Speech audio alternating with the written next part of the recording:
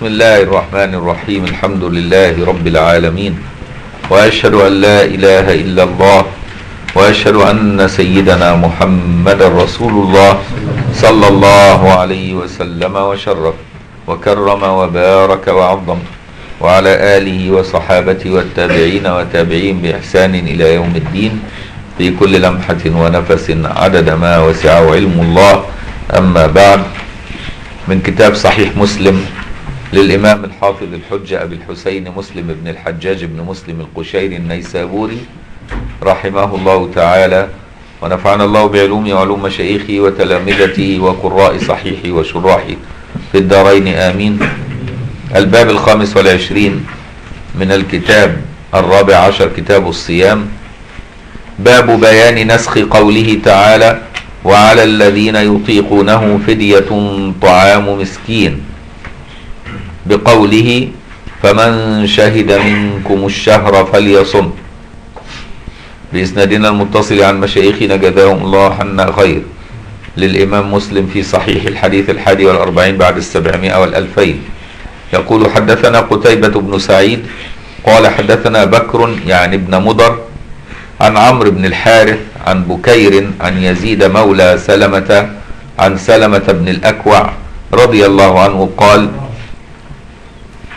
لما نزلت هذه الآية وعلى الذين يطيقونه فدية طعام مسكين كان من أراد أن يفطر ويفتدي يعني على سبيل التخيير يعني.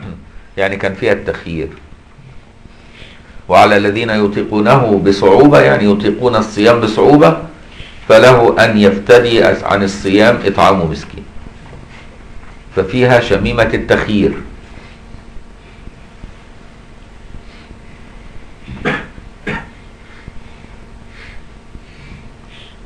كان من أراد أن يفطر ويفتدي حتى نزلت الآية التي بعدها فنسختها اللي هو فمن شهد منكم الشهر فليصمه. ما فيش بقى على الذين يطيقونه فهنا بقى في أمر جازم. فكأنه نسخ التخيير وبقي الفداء للمريض أو غير المستطيع. يبقى نسخت الآية نسخ منها التخيير بس. لكن يبقى إيه؟ الإطعام. يعني من لم يستطع أن يصوم بسبب مرض واستمر معه المرض يبقى عليه إيه؟ إطعام مسكين عن كل يوم. يبقى إيه؟ نسخ التخيير لكن لم ينسخ الإطعام. واضح؟ يعني نسخ بعض الحكم وليس كل الحكم. يبقى نسخ بعض الحكم وليس كل الحكم. الراجح. لأن الآية فيها التخيير وفيها الإطعام. نسخ فيها إيه؟ نسخ التخيير وبقي الإطعام. الأحناف عندهم يطعموا عن كل يوم مدين. يعني وجبتين إفطار وسحور للمسكين مدين. الشافعية يطعموا مد واحد يطعموا مد واحد عن كل يوم والمد حوالي كيلو إلا ربع كيلو إلا ربع من غالب قوت إيه؟ البلد.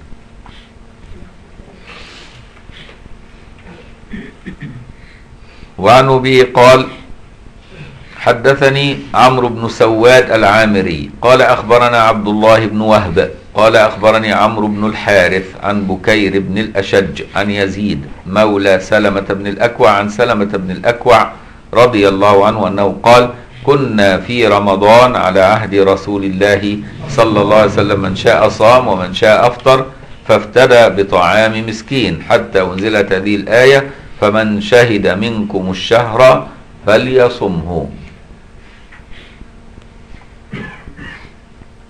باب قضاء رمضان في شعبان. من فاته صيام في رمضان بسبب سفر أو مرض أو حيض أو نفاس للمرأة يبقى في الحالة دي عليه أن يقضي ما فاته. إذا زال عذره يقضي ما فاته. هل على الفور ولا على التراخي؟ الجمهور على التراخي. له أن يقضي على التراخي. يعني براحته في أي شهر كان. لكن عند الظاهرية لابد بعد يوم الفطر يبتدي على طول يقضي. في الحال. حتى يبرئ ذمته. أما الجمهور فعندهم له أن إيه؟ لأنه واجب موسع. يسموه إيه؟ الواجب الموسع. في عندنا الواجب المضيق وفي عندنا الواجب الموسع وعندنا الواجب المخير. أنواع الواجب. أيام ما كنتوا بتدرسوا في الأصول زمان. تدرس الحاجة وتنساها ما يصحش. الواجب أنواع إيه؟ واجب مضيق واجب مخير واجب موسع. كده برضو؟ فده من الواجب الموسع. اللي هو قضاء ما فاتك من رمضان فهو موسع في 11 شهر. عندك تقضيه في 11 شهر قبل ما يجي رمضان اللي بعده. في أي وقت بقى براحتك. على التوالي على الترتيب على التقطيع براحتك. واضح كل ده على سبيل التيسير. طبعا في الظاهرية عندهم لا. على الفور. فجعلوه واجب مضيق. لكن باقي المذاهب قالت هو واجب موسع. بحيث أنه يقضي قبل شعبان احتياطا. قبل شعبان احتياطا. ويستحب إيه؟ إنه يبقى على الفور. لكن لا يجب.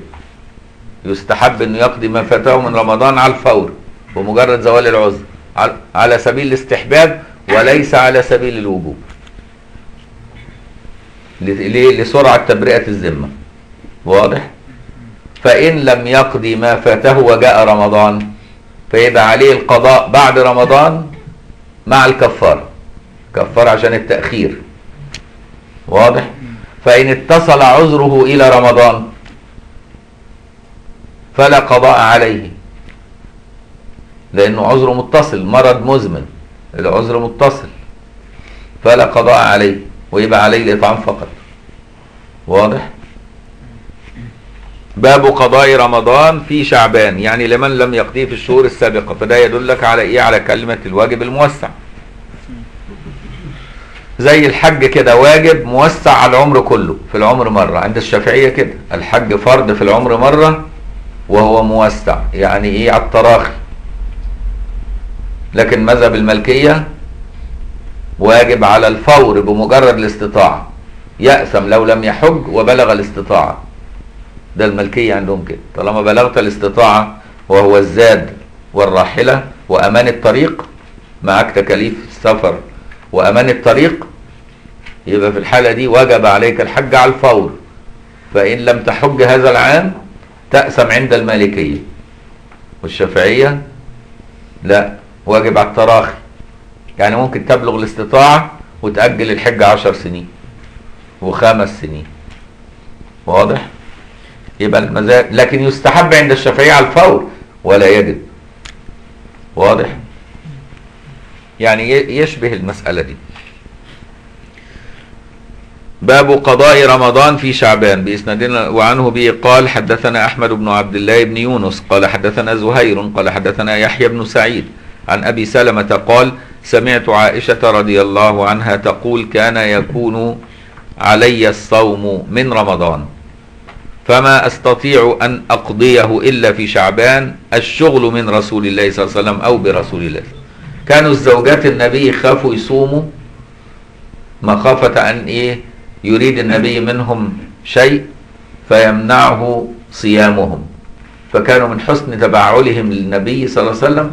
كانوا إيه أخروا قضاء ما عليهم من رمضان حتى يأتي شعبان فيقضوا ما عليهم لأن النبي كان في شعبان يصوم معظمه. فطالما هو صائم بالنهار يبقى لا حاجة له بالنساء. فيقوم يستغلوا الفرصة دي ده من حسن تبعل زوجات النبي لهم صلى الله عليه وسلم. فكانوا يأخروه حتى شعبان. وهذا الحديث يدل حجة على إيه؟ على مذهب الظاهرية الذين قالوا أن القضاء على الفور. يجب على الفور. وحجة للجمهور في بيان أن القضاء على التراخي. وعن أبي قال وحدثنا إسحاق بن إبراهيم قال أخبرنا بشر بن عمر الزهراني قال حدثني سليمان بن بلال قال حدثنا يحيى بن سعيد بهذا الإسناد غير أنه قال وذلك لمكان رسول الله صلى الله عليه وسلم. طب والظاهرية يعني لما يسأل لهم الحديث ده ليه يستمروا على رأيهم؟ يقول لك هذا خاص بالنبي لكمال حق النبي صلى الله عليه وسلم. فده حاجة خاصة بالنبي وزوجاته. إنما إحنا مسؤولين على طول عن الفور يردوا برضه مش هيسيبوك يعني. فهمت؟ يعني كل فقيه له حجته في اختيار مذهبه. حتى لو تجيب له الحديث يقوم يأوله بطريقة توافق مذهبه برضه. لأن ستنا عائشة بتتكلم على زوجات النبي. طب وهل كل الناس زوجات للنبي؟ فهمت؟ يبقى ده خاص بهم. دي حاجة خاصة بالأسرة النبوية. لكن الأمة على الفور. فهمت إزاي؟ ده كلام إيه؟ الظاهرية. يردوا كده. طب والجمهور يرد على الظاهرية يقولوا له إيه؟ يقولوا له لا التخصيص لابد أن يكون بمخصص مذكور. واخد بالك إزاي؟ فقط. طالما ما فيش مذكور يبقى إيه؟ سائر الأمة لأن النبي أسوة لينا فلازم نقلده في كل حاجة. فهمت؟ يردوا عليهم برضه وهكذا. يبقى كل واحد بيبقى ليه طريقة أسلوب في التفكير والدليل واحد وتظل المذاهب. وده سعى للأمة. فلا تضيق إيه؟ مخك بمذهب واحد. لا بأس إنك تقتنع برأي وتمشي عليه لكن لا تسفه رأي المخالف. فهمت؟ تحترمه برضه. وعن أبي قال وحدثنيه محمد بن رافع قال حدثنا عبد الرزاق قال أخبرنا ابن جريج قال حدثني يحيى بن سعيد بهذا الإسناد وقال فظننت أن ذلك لمكانها من النبي صلى الله عليه وسلم. يحيى يقول. هو يحيى بن سعيد. وعن أبي قال وحدثنا محمد بن المثنى قال حدثنا عبد الوهاب حا قال وحدثنا عمرو الناقد قال حدثنا سفيان كلاهما عن يحيى بهذا الإسناد ولم يذكر في الحديث الشغل برسول الله صلى الله عليه وسلم. وعن أبي قال وحدثني محمد بن أبي عمر المكي قال حدثنا عبد العزيز ابن محمد الدروردي عن يزيد بن عبد الله بن الهاد عن محمد بن إبراهيم عن أبي سلمة بن عبد الرحمن عن عائشة رضي الله عنها أنها قالت إن كانت إحدانا لا تفطر في زمان رسول الله صلى الله عليه وسلم فما تقدر على أن تقضيه مع رسول الله صلى الله عليه وسلم حتى يأتي شعبان. باب قضاء الصيام عن الميت. إذا مات إنسان وعليه صيام هل الميت يقضي عنه الصيام أم يطعم؟ مسألة فقهية. يعني أبوك مثلا أو أمك ماتت أو مات وعليه صيام لم يقضه. ما الواجب عليك؟ هل تصوم عنه؟ أم تطعم عنه؟ أم أنت مخير بين الصيام والإطعام؟ واضح؟ ثلاثة أوجه عند الشافعي. قول أنه لا صيام عن الميت ولكن الإطعام فقط قولا واحدا. وده المشهور عند الشافعي. لا يصوم عن الميت بل يطعم فقط. قولا واحدا هذا القول الأول المشهور عند الشافعي. القول الثاني له أن يصوم عن الميت. له أن يصوم عن الميت. فيبقى يجوز الصيام عن الميت. والقول الثالث هو مخير بين الايه الاثنين. والراجح أنه مخير بين الاثنين بين أن يصوم أو يطعم. له أن يصوم وله أن يطعم.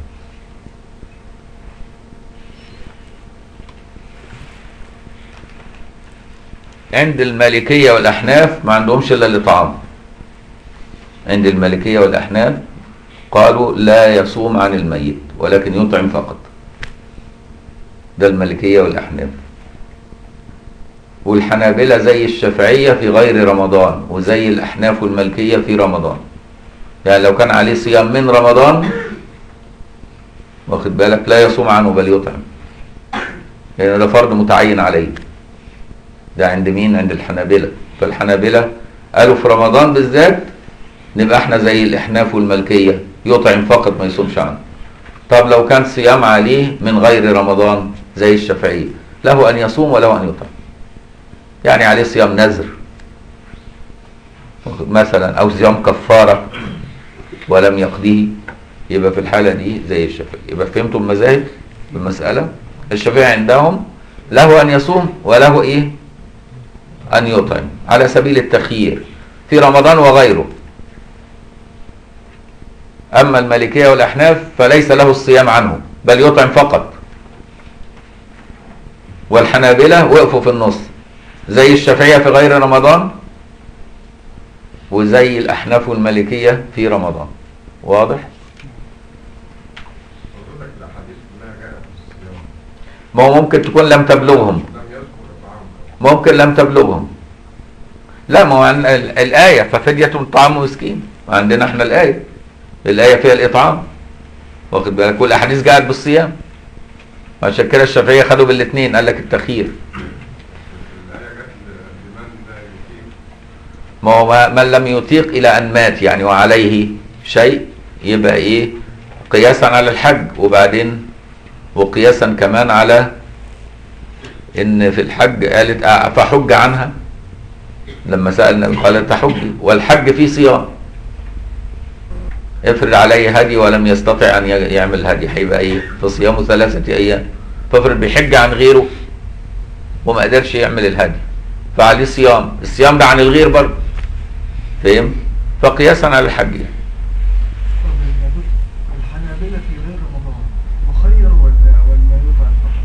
ده مخير زي الشافعي. باب قضاء الصيام عن الميت. خد بالك إمتى تقضي الصيام عن الميت؟ لو هو أفطر في رمضان ثم برئ وجاءه فترة يستطيع أنه يقضي فلم يقضي ثم مات. في الحالة دي يبقى إيه؟ تعلق بذمته فعليك أن تصوم عنه أو تطعم. لكن افرض إنه مرض في رمضان واستمر مرضه إلى أن مات. يبقى لا شيء عليه لأنه لم يجب عليه خلاص. بسبب إيه؟ استمرار عذره. بسبب استمرار عذره واضح؟ وعن أبي قال وحدثني هارون بن سعيد الأيلي وأحمد بن عيسى قال حدثنا ابن وهب قال أخبرنا عمرو بن الحارث عن عبيد الله بن أبي جعفر عن محمد بن جعفر بن الزبير عن عروة عن عائشة رضي الله عنها أن رسول الله صلى الله عليه وسلم قال من مات وعليه صيام صام عنه وليه. والحديث ده حجة لمن إيه أجا قال أنه عليه الصيام. وولي هنا. طب يعني ولي هو اللي يصوم عنه طب هل يجوز الاجنبي أن يصوم عن ميت؟ صديقه مثلا. أو جاره. هل يجوز؟ قال يجوز بإذن وليه. فإن صام بغير إذن وليه لا لا يجوز. لا يجوز بإذن وليه. ده الراجع عند الشافعي. يبقى الأجنبي إذا صام عن الميت لابد بإذن الولي. ومن هو الولي؟ قيل الوارث وقيل العصبة. قيل الوارث وقيل العصبة. واضح؟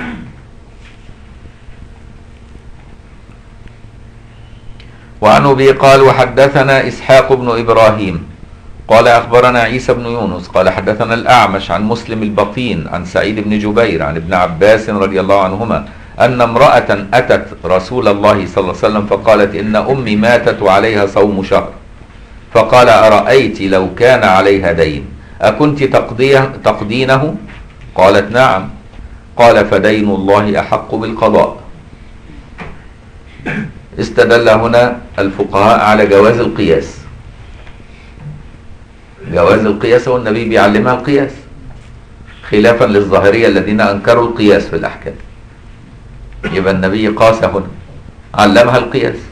قال أفلو كان عليها دين؟ كنت تقديه قالت نعم. قال فدين الله أحق.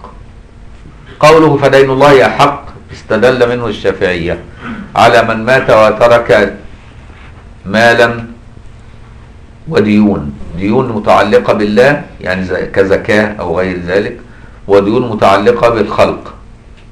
وماله يضيق عن الدينين. أيهما يقدم؟ دين الله ولا دين الخلق؟ فالشافعية قالوا إيه دين الله أحق قال لك يقدم دين الله. قول عندهم. قول تاني عند الشافعية يقدم دين الخلق.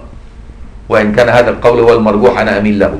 لماذا؟ لأن دين الله مبناه مبناه على التسامح.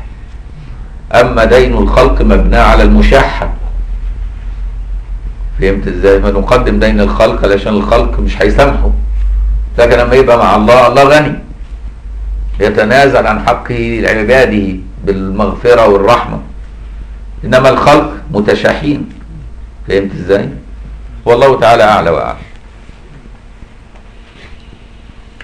وعنه به قال وحدثني أحمد بن عمر الوكيعي قال حدثنا حسين بن علي عن زائدة عن سليمان عن مسلم البطين عن سعيد بن جبير عن ابن عباس رضي الله عنهما قال جاء رجل إلى النبي صلى الله عليه وسلم فقال يا رسول الله إن أمي ماتت وعليها صوم شهر. أفأقضيه؟ يبقى الأولانية كانت امرأة هي اللي بتسأل والحالة الثانية رجل آخر. يبقى تعددت المسألة. ليه بقى؟ لأن الفقهاء اللي قالوا لا يجوز له الصوم قال لك الأحاديث دي مضطربة. مرة يقول راجل ومرة يقول ست. دي مضطربة. فملناش دعوة. عليه الاطعام وخلاص فهمت إزاي؟ لا نقول لهم لا. ده تعددت الواقعة. ده مره راجل جه سأله ومره ست جت سألته إيه المشكلة؟ تعدد الواقعه هو لازم تبقى الواقعة مرة واحدة دي ده الفقيه بي- بيبقى متعرض لنفس السؤال واخد بالك؟ في اليوم الواحد من عدة وقائع في اليوم الواحد فما بالك حياة النبي الطويلة اللي عاشها مع الناس؟ فتبقى تتعدد الوقائع وما نقولش اضطراب. فهمت إزاي؟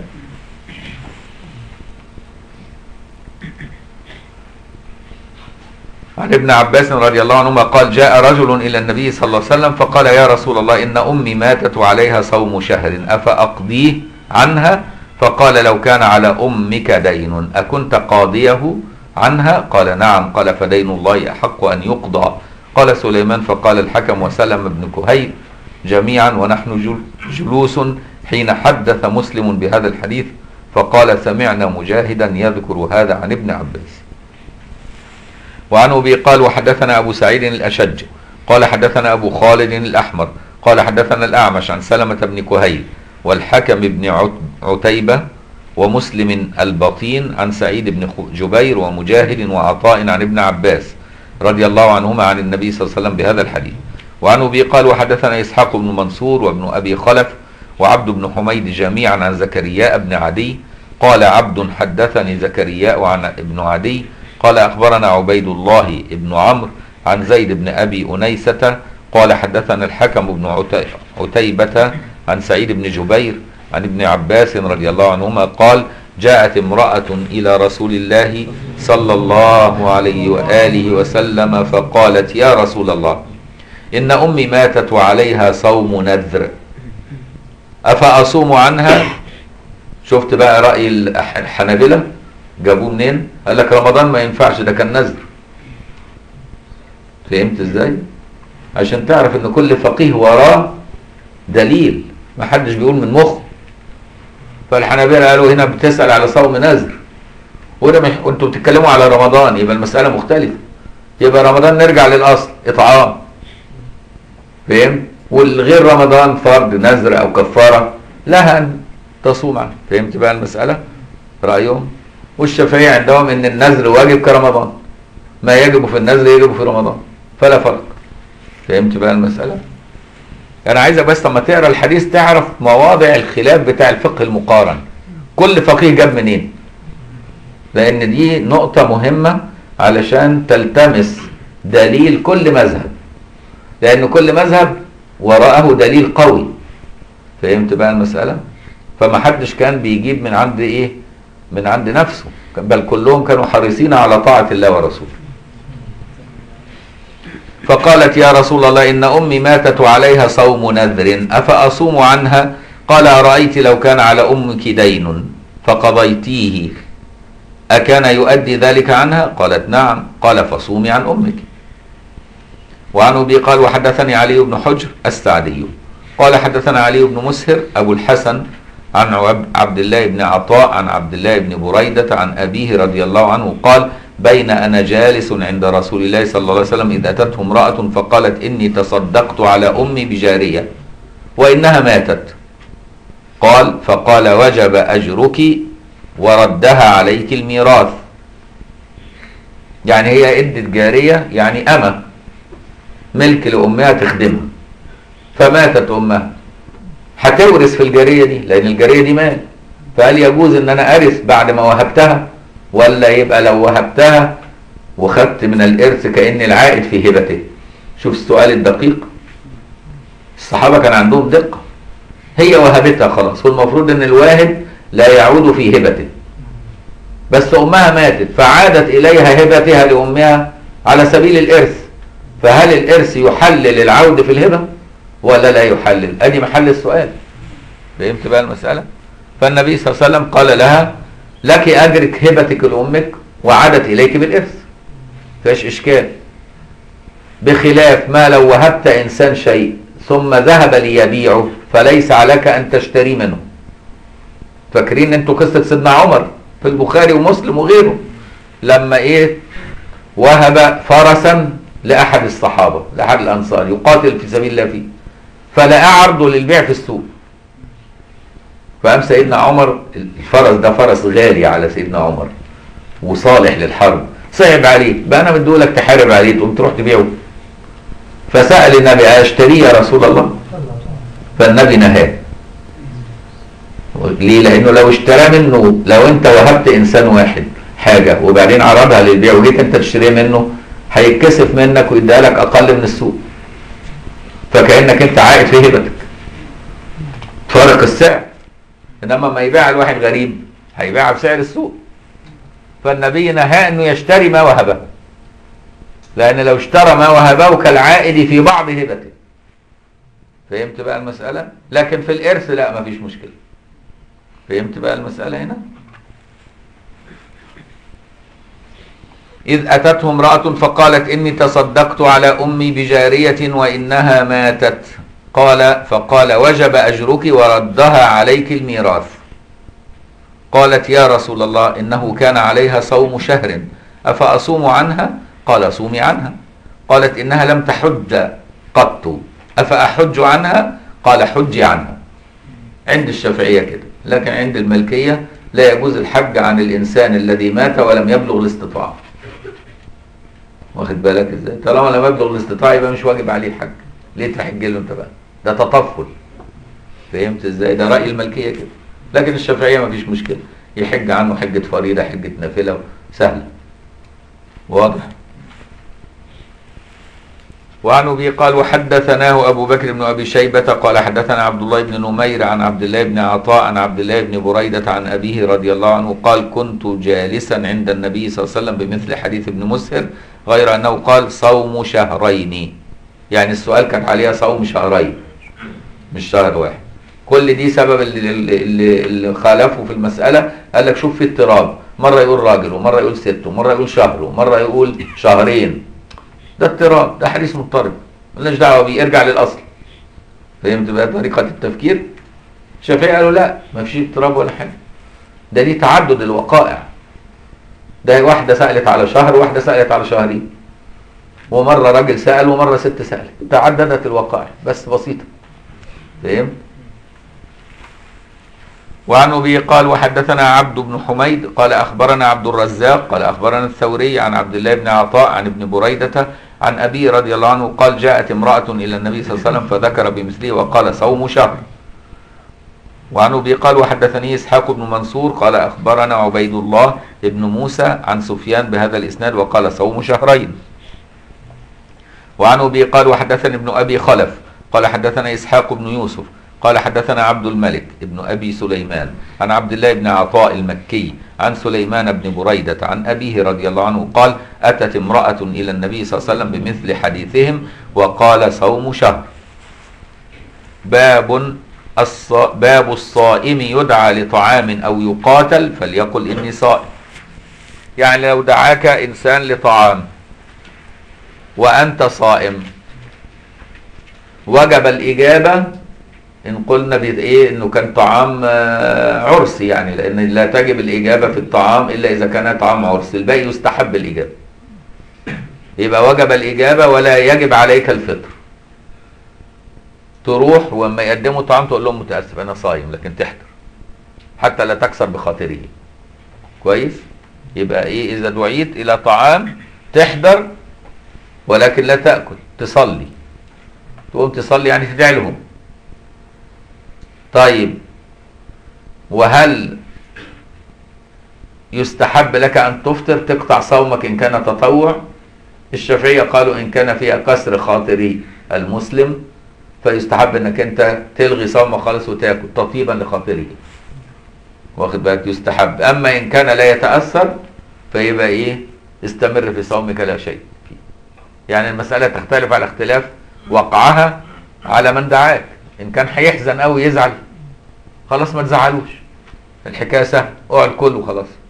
فهمت لكن لو مش هيزعل وهو صديقك وعارف إنك أنت بتحب تصوم يوم الاثنين ودعاك هو يوم اثنين ومش عايز يقطع عليك عادتك ويقول لك طب تعالى بس تدعي لنا كده تحصل بركة. خلاص احضر وما تاكلش.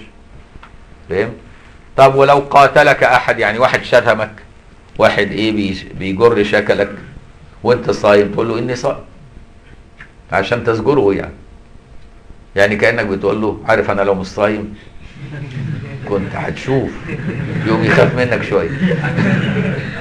تزجره يعني. أو إنك تعظه. تقول له ما يصحش خليك مع أخلاق الصائمين. أنا صائم وأخلاقي لا أرد عليك فتخلق بأخلاق الصائمين ولا تفعل هذا معي. كأنك إما بتعظه أو إنك أنت إيه بتذكر نفسك. كمان حتى لا تغضب عليه فتفسد صومك. كلمة إني صائم دي كأنك بتذكر نفسك وبتذكره. بتعظ نفسك وبتعظ فهمت واستدل العلماء على جواز إظهار عبادة التطوع واخد بالك؟ إن كان في مصلحة. والأصل إخفاء عبادة التطوع. لكن إن كان في مصلحة لك أن تظهر. واضح؟ إنما لو ما فيش مصلحة وإظهرتها فيها شميمة رياء. المصلحة هنا إن هو يكف عنك وإنك أنت تذكر نفسك فلا تعامله بالمثل. فهنا في مصلحة. مش إحنا مثلا ما تلاقي منظر كده مش عاجبك وانت صايم تقول اللهم اني صائم؟ يعني امسك نفسك بقى ما فيش داعي انك انت تمشي مع طبعك إيه الأعوج في غير الصيام يعني. ما هو ده دي ميزة إن الصيام بي بي بيحسن طبع الإنسان. وعن ابي قال حدثنا أبو بكر بن أبي شيبة وعمرو الناقد وزهير بن حرب قالوا حدثنا سفيان بن عيينة عن أبي الزناد عن الأعرج عن أبي هريرة رضي الله عنه قال أبو بكر بن أبي شيبة رواية وقال عمرو يبلغ به النبي صلى الله عليه وسلم وقال زهير عن النبي صلى الله عليه وسلم قال إذا دعي أحدكم إلى طعام وهو صائم فليقل إني صائم. باب حفظ اللسان للصائم. لما تبقى صايم مفيش داعي إنك أنت بقى إيه تتكلم على الفاضي وعلى المليان. وتلغو في الحديث وتتكلم كلام لا يليق وتجيب كلام فاحش من القول. لأن انت في عبادة فما يصحش بقى. راعي إيه؟ أدب العبادة. وعن أبي قال حدثني زهير بن حرب قال حدثنا سفيان بن عيينة عن أبي الزناد عن الأعرج عن أبي هريرة رضي الله عنه رواية قال إذا أصبح أحدكم يوما صائما فلا يرفث ولا يجهل. فإن امرؤ شاتمه أو قاتله فليقل إني صائم إني صائم. واضح؟ والله تعالى أعلى وأعلم ونقف على باب فضل الصيام غدا إن شاء الله. اللهم علمنا ما ينفعنا وانفعنا بما علمتنا وزدنا علما. إن الله وملائكته يصلون على النبي. يا أيها الذين آمنوا صلوا عليه وسلموا تسليما. اللهم صل على سيدنا محمد عبدك ورسولك النبي الأمي وعلى آله وسلم. اللهم صل على سيدنا محمد عبدك ورسولك النبي الأمي وعلى آله وسلم. اللهم صل على سيدنا محمد عبدك ورسولك النبي الأمي وعلى آله وسلم. عدد خلقك ورضا نفسك وزينة عرشك ومداد كلماتك وكما تحب وترضى. سبحان ربك رب العزة عما يصفون وسلام على المرسلين والحمد لله رب العالمين.